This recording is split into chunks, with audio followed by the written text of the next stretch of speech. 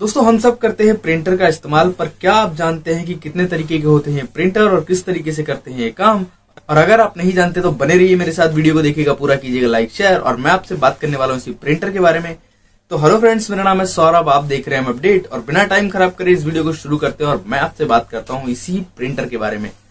तो बात करें, यूँ तो प्रिंटर आते हैं बहुत सारे टाइप के, पर मेन प्रिंटर्स की बात करें तो उसमें होता है dot matrix printer inkjet printer और उसके बाद आता है लेजर स्कैनिंग प्रिंटर और सबसे बाद में आता है ऑल इन वन प्रिंटर जिसे आपने देखा होगा बड़े बड़े साइबर कैफ़े में फ़ोटो कॉपीज की दुकान में, जिससे आप कर सकते हैं scanning printing photocopy and fax भी आप इससे कर सकते हैं। और बात करें हमारे पहले प्रिंटर यानी डॉट मैट्रिक्स प्रिंटर की तो ये कैसे काम करता है? ये काम करता है ब्लैक कलर की सीड एंड धातु की पिनों के ज़रिए, जिनमें नौ से चौबीस पिने तक होती है और इन्हीं पिनों को देखकर इसकी क्वालिटी को पहचाना जाता है। और ये प्रिंटर आपको देखने को मिलता है रेलवे स्टेशन पर टिकट काटने के लिए पोस्ट ऑफ़िस में रजिस्ट्री कराने के लिए या फिर आपको बैंक में जब आप स्टेटमेंट लेने जाते हैं, वहाँ पर ये आपको प्रिंटर देखने को मिल जाएगा। खैर डॉट मैट्रिक्स प्रिंटर तो हो गया गवर्नमेंट के काम के लिए। पर हम बात कर रहे हैं अपने घर में यूज़ होने वाले प्रिंटर के बारे में तो इसमें सबसे ऊपर आता है इंक जैक प्रिंटर जिसमें यूज़ होती है बेसिकली इंक और इस इंक के साथ या आप अगर अपनी फ़ोटो वगैरह प्रिंट करें, मान लो अपनी फैमिली फ़ोटोज़ आपने ली और उन्हें प्रिंट करें तो ये बड़ी ही क्लियर फ़ोटोज़ निकल कर आ जाती हैं।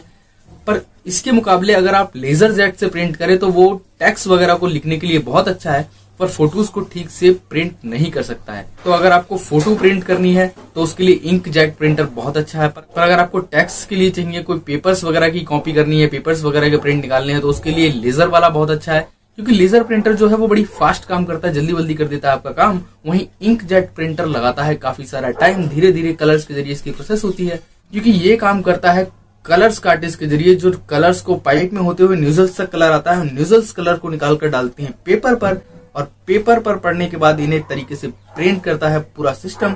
और ये पूरा काम होता है पूरे मिले जुले सिस्टम के साथ। और मैं बताता हूँ इस सिस्टम के बारे में कि क्या क्या होता है इस इंक जेट प्रिंटर में। तो इंक जेट प्रिंटर में सबसे पहले होती है पेपर ट्रे फिर एक ड्राइव बेल्ट फिर होती है स्लाइडिंग डॉट उसके बाद होता है स्ट्राइपर मोटर और उसके बाद होती है हमारी इंक कार्टेज जिसके ज़रिए हमारे कलर निकल कर जाते हैं लिक्विड वाली इंक इसमें भरी होती है, और इसी के साथ स्लाइडिंग डॉट पे लगा होता है प्रिंटिंग हेड जिसके ज़रिए प्रिंटिंग की जाती है। अब इस प्रिंटिंग हेड के अंदर होता है रेसिस्टर और रेसिस्टर के बाद होता है इंक ड्रॉप प्लेटेड और इसी इंक ड्रॉप प्लेटेड के बाद होता है इंक चैम्बर और फाइनली इंक चैम्बर के बाद होता है माइक्रोस्कोपिक न्यूजल जिसके ज़रिए सारा काम होता है। न्यूजल कलर को पेपर पे डालती है और फिर उसके बाद पूरा प्रिंट बनना शुरू होता है। इस सारी प्रोसेस में लगता है बहुत सारा टाइम ये आपकी फ़ोटो को तो बहुत बढ़िया तरीके से प्रिंट कर देता है और अब तक का सबसे कामयाब प्रिंटर है अगर आपको अपनी फ़ोटोज़ प्रिंट करनी हो। पर वहीं बात करिए आप टैक्स की या अपने किसी डॉक्यूमेंट की प्रिंट करने की तो उसके लिए इतना ठीक नहीं है। उसके लिए आप लेजर प्रिंटर को लें, वो बड़ी जल्दी जल्दी कर देता है। प्रिंट आपके टेक्स्ट को, पर वो फ़ोटो को प्रिंट करने में इतना अच्छा नहीं है। और वहीं बात करें इन दोनों की कॉस्ट की तो आप अगर इंक जेट प्रिंटर लेते हैं तो स्टार्टिंग में जब इसे आप खरीदेंगे तो सस्ता पड़ता है। पर जब आप इससे प्रिंटिंग करते हैं किसी भी तरीके की तो वो आपको महँगी पड़ जाती है। और लेजर प्रिंटर को अगर आप खरीदते हैं तो वो लेते टाइम आपको हो सकता है बहुत महँगा पड़ जाए। पर उसके बाद जब इसकी प्रिंटिंग कॉस्ट आती है तो वो इंक जेट के मुकाबले काफ़ी सस्ती पड़ती है और लॉन्ग टर्म्स पे चलने वाली चीज़ है। मतलब वो आपके बिज़नेस में काम आने वाली चीज़ है और इंक जेट प्रिंटर जो है वो आपके घर के लिए पोर्टेबल है। उससे अपनी फ़ोटोज़ प्रिंट कर सकते हैं, अपने बच्चों के काम कर सकते हैं, अपना डाटा प्रिंट कर सकते हैं, अपने डॉक्यूमेंट्स निकाल सकते हैं। और इंक जेट प्रिंटर में एक और खराबी है, मैं आपको बता दूँ कि इंक जेट प्रिंटर को अगर आप बंद कर कर रख देते हैं 25 से 30 दिनों के लिए तो इसके निजल्स जाम हो जाते हैं, इनमें कलर जम जाता है। और जो इंक के आपके कार्टेज होते हैं, वो भी कई बार सूख जाते हैं, जिसकी वजह से ये चलना बंद हो जाता है। तो अगर आप इंक जेट प्रिंटर को यूज़ करते हैं या करने वाले हैं तो मेरी एडवाइस आपको ये होगी कि आप इसे 15 से 20 दिनों में यूज़ ज़रूर कर लिया करें। और इसके साथ बात करें लेजर प्रिंटर के मैकेनिज्म की तो लेजर प्रिंटर में होता है पहले एक लेजर स्कैनिंग यूनिट, जो करता है आपके डाटा को स्कैन और उसके बाद होता है ग्लास मिरर और उसके बाद होता है टोनर कोटेड रोल जिसे हम कह सकते हैं इसका कार्टेज और इसी कार्टेज के ज़रिए ये सारी चीज़ें प्रिंट होती हैं, इसमें से ही वो कलर निकल कर आता है। और इसी टोनर के सामने लगा होता है फ़ोटो रिसेप्टर ड्रम और इस फ़ोटो रिसेप्टर ड्रम के ऊपर लगा होता है चार्जिंग इलेक्ट्रॉड क्रोना पायर जिसके ज़रिए ये ड्रम पूरी तरीके से चार्ज हो जाता है एक सपाट लेयर बन जाती है। तो हमारा पहला काम जो शुरू होता है, वो शुरू होता है लेजर स्कैनिंग से।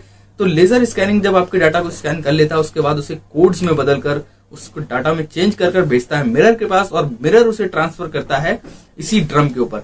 जब वो ड्रम के ऊपर पड़ती है लाइट तो ड्रम पर जो इलेक्ट्रोड्स चार्ज हुए होते हैं, वो हो जाते हैं डेड और उतने एरिया में आपका डाटा छप जाता है। जब वो घूम कर आते हैं टोनर के पास तो टोनर जो अनचार्ज जगह होती है, उस पर लगा देता है पाउडर और वो पाउडर जब नीचे घूम कर जाता है आपके पेपर पर तो हो जाता है सेट। अब यहाँ तक तो आपकी प्रोसेस हो गई पूरी, पर इसके बाद भी जो ड्रम ने उसके ऊपर लिखा है वो अभी तक पूरी तरीके से सेट नहीं होता है। तो इसके लिए इसे गुजारा जाता है। थोड़ी गर्म प्लेटेट्स के बीच में से गुजारा जाता है, जिसकी वजह से गर्म होकर ये सेट हो जाता है पेपर के साथ और आपको बाद में हाथ में लेने के बाद पाउडर छूटता नहीं है और गिरता नहीं है। तो इस तरीके से प्रिंटर पूरा काम करता है। और अब बात कर ले अपने ऑल इन वन प्रिंटर की। तो ऑल इन वन प्रिंटर एक बाकी कमाल का प्रिंटर होता है। ये हर चीज़ को बड़ी फास्टली कर देता है और बड़ी अच्छी क्षमता होती है इसमें बड़े बड़े काम कर लेने की। पर इसके साथ एक प्रॉब्लम होती है कि मान लीजिए इसका फैक्स वाला यूनिट खराब हो गया।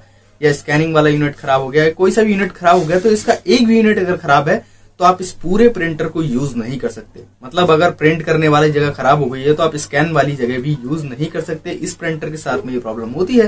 पर ये प्रिंटर होता है बड़ी बड़ी शॉप्स के लिए बड़े बड़े साइबर कैफेज के लिए या बड़े बड़े ऑफ़िस के लिए। आपको अगर अपने घर पे लगाना है तो मैं आपसे कहूँगा कि आप इंक जेट प्रिंटर ही लगाएँ, क्योंकि इससे आप अपनी फैमिली फ़ोटोज़ भी प्रिंट कर पाएँगे, अपना डाटा भी प्रिंट कर पाएँगे। हाँ हो सकता है इसमें आपको थोड़ा टाइम लग जाएगा, पर ये छोटा सा बिल्कुल प्यारा सा होता है, इसे आप कहीं भी अपने घर में सेट कर सकते हैं। तो मुझे उम्मीद है आपको पसंद आई होगी वीडियो। वीडियो को पूरा देखने के लिए थैंक यू और प्लीज़ अगर आपको मेरी वीडियो पसंद आई तो कीजिए लाइक नहीं पसंद आई है तो कर दीजिए डिसलाइक और डिसलाइक करने के बाद मुझे नीचे कमेंट में बताना कि आपको क्या बुरा लगा मेरी वीडियो में, ताकि मैं उसमें कर सकूँ सुधार आप ही के लिए और आपको दे पाऊँ एक बढ़िया वीडियो, एक बढ़िया कंटेंट और फिर भी अगर आपको मेरी वीडियो पसंद आई है तो प्लीज़ कीजिएगा इसे लाइक शेयर और अगर आप मेरे चैनल पे नए हैं तो कर लीजिएगा इसे सब्सक्राइब ताकि जब भी मैं ऐसी वीडियो बनाऊँ, आपको मिलता रहा उसका नोटिफिकेशन तो फ़िलहाल के लिए वीडियो में इतना ही, मिलते हैं अपनी किसी नेक्स्ट वीडियो में, तब तक के लिए गुड बाय एंड टेक